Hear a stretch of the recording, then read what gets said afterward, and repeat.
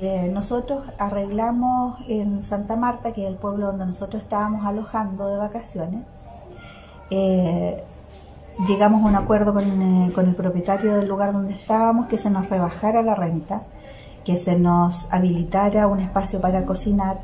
El, pueblo cubano nos ayudó a, nos estaba ayudando a conseguir insumos, alimentos, que, es difícil acá, eh, a precio cubano, que no se nos cobrara a precio de turista, para poder que nosotros subsistiéramos todo este mes o, el tiempo que fuese necesario hasta poder regresar a nuestro país. El día de ayer en la mañana llegó la dueña del hostal y nos informa que lo sentía mucho, que lamentablemente no nos podía seguir arrendando porque el gobierno cubano se lo había prohibido.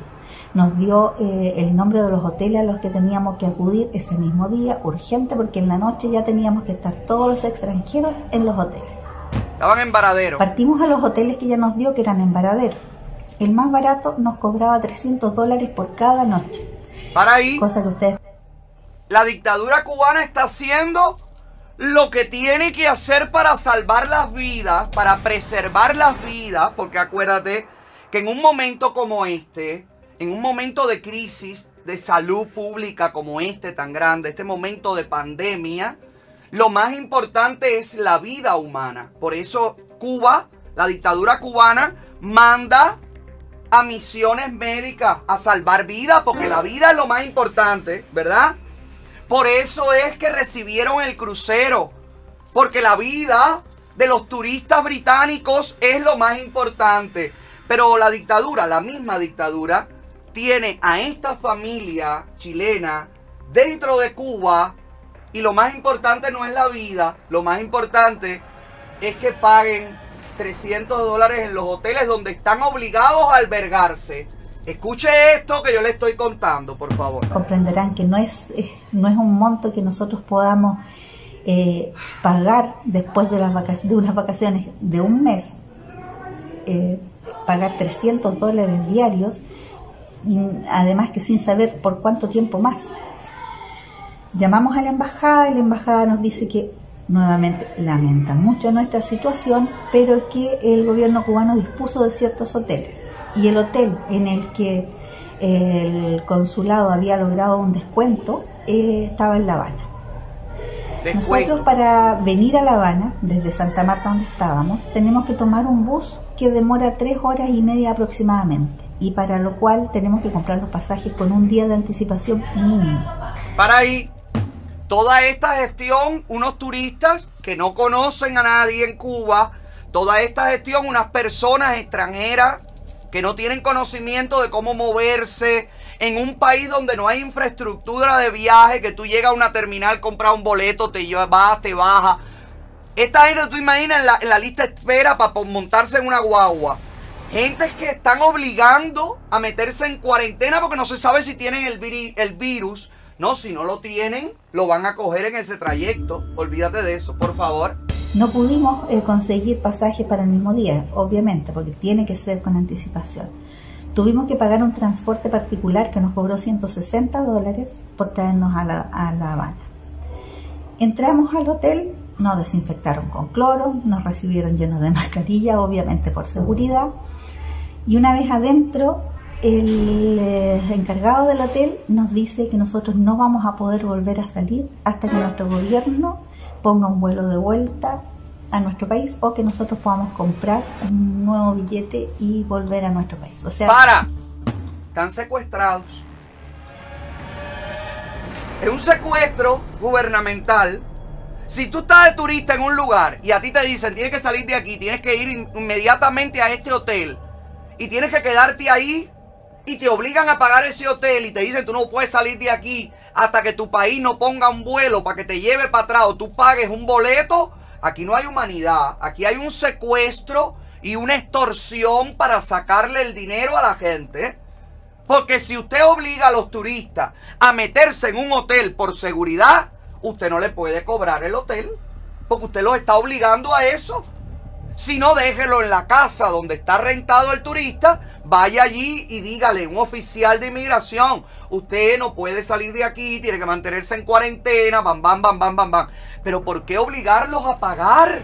Es una familia con los nietos, con los hijos, con todo. Escuchemos a la chilena desgraciada esta, pobrecita mujer, que yo creo que ella nunca más en la vida. A Cuba no, al Caribe. Le dicen Caribe y va a salir corriendo. Déjame ver. De este hotel podemos salir única y exclusivamente al aeropuerto. Eh, comprobando obviamente el pasaje con anticipación. El asunto es que esos 15 CUC, que era el descuento que se había conseguido, es alojamiento y desayuno, pero no podemos salir a comer, por lo que tenemos que pagar la alimentación también en este hotel. Una alimentación que no es a la, que estamos acostumbrados. En mi familia, eh, una de mis hijas y dos de mis nietas son vegetarianas. Para ahí. Ay, que embarque esta mujer. Pero esta mujer no se documentó antes de ir ahí. Ves tú, vegetariana. Ves tú, esta mujer que en Cuba conseguir un mazo de lechuga. Te tienes que despetroncar ahí en el mercado, despatillar y dar cuatro piñazos. ¿Tú te imaginas esta pobre mujer haciendo la cola en cuatro caminos para comprar un pedazo de pollo? Una remolacha. Ay, caballero, caballero, señores, que yo veo esto. Si usted es extranjero, si usted es turista, si usted es una persona de otra nacionalidad, usted tiene que ver lo que pasan cuando van a Cuba. No vayan a Cuba. ¿Qué hace esta gente yendo a Cuba, señores? Por favor, pero qué cosa más grande. Pero qué, qué vocación por el sufrimiento. Qué vocación por ir a retratar miseria y mugre y gente con, con, desesperación. ¡Ay, por Dios! ¡Qué barbaridad! Déjame ver por fin cómo termina la historia de la turista chilena. Escuchen bien esto porque dentro del hotel donde están obligados a permanecer, ahora hay un turista con fiebre. ¡Ay, mi amor! Por favor. Hoy el desayuno nos sirvieron pan y carne. Mm, nada. ¿Qué suerte tuvo? Fruta sí, fruta que pudieron comer y té, jugo. Eh, les pedimos si, no sé, si podían convidarnos un poco de mantequilla o mermelada o queso blanco o algo que pudiesen comer mis nietas. Y eh, muy amablemente nos dijeron que ellos están, no estaban preparados para recibir extranjeros y eso es lo que comen los cubanos. Para ahí.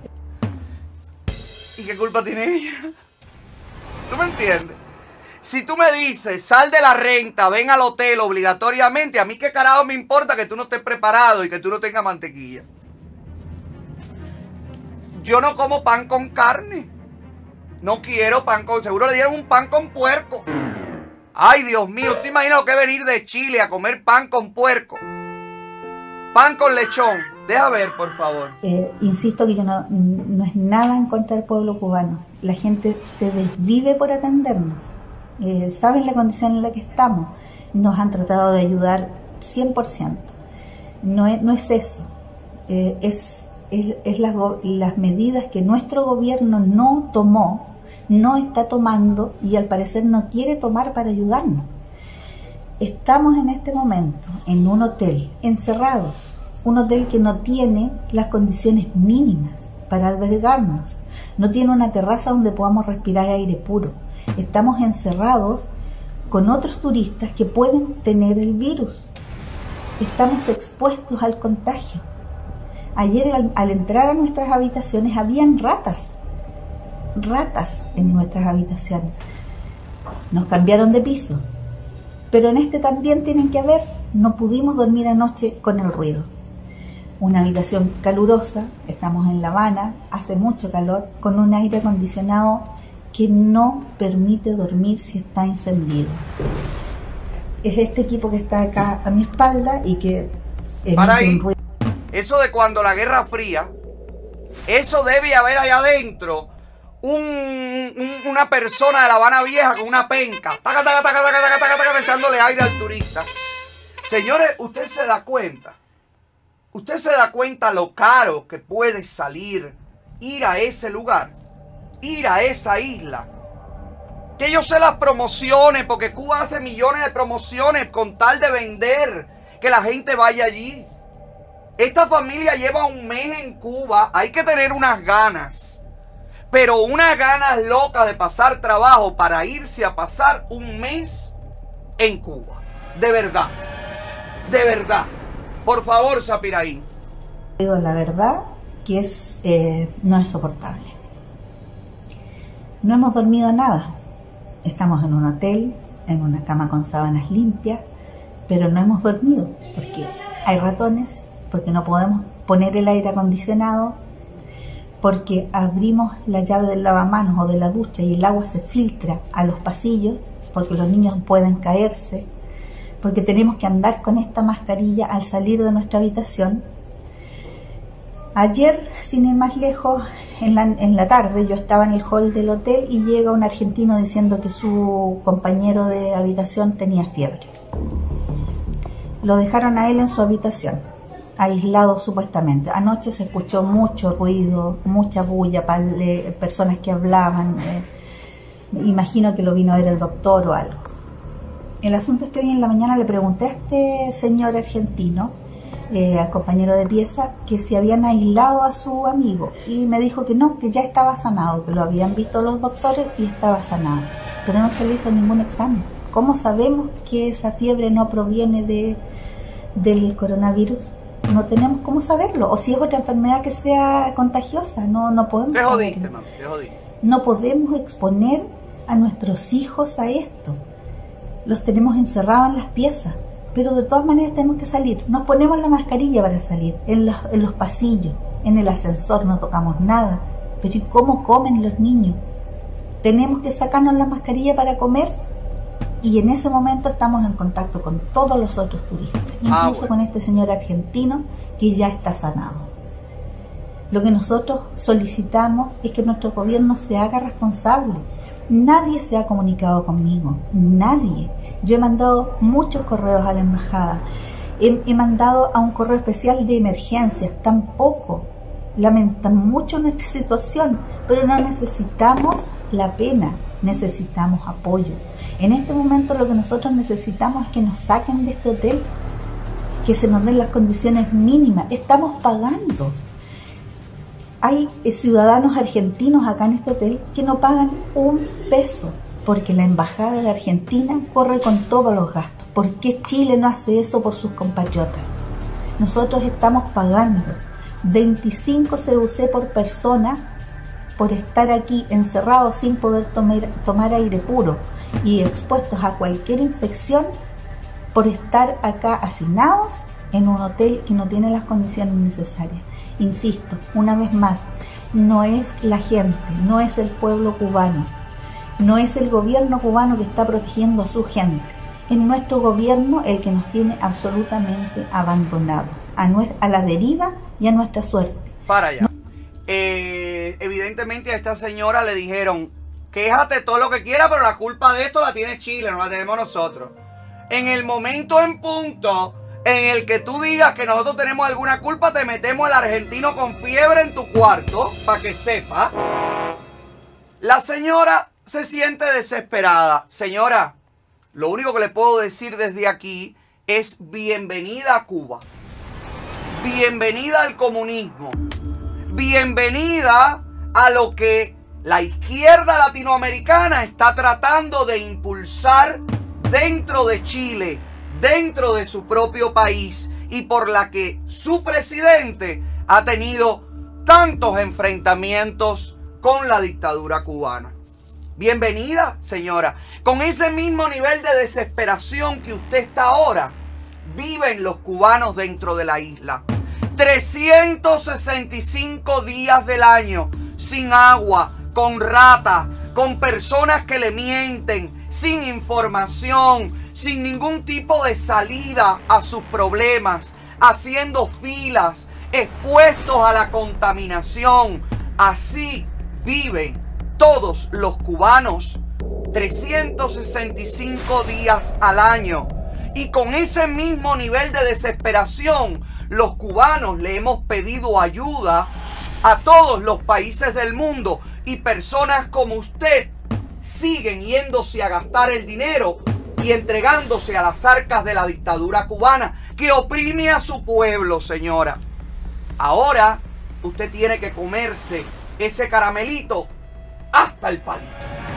Ojalá le deseo mucha suerte a usted y su familia, porque nadie merece estar pasando lo que ustedes están pasando. Pero tampoco el pueblo de Cuba merece que por turistas como ustedes, la dictadura cubana se siga manteniendo en el poder. Vamos a ver de qué cuero salen más correas.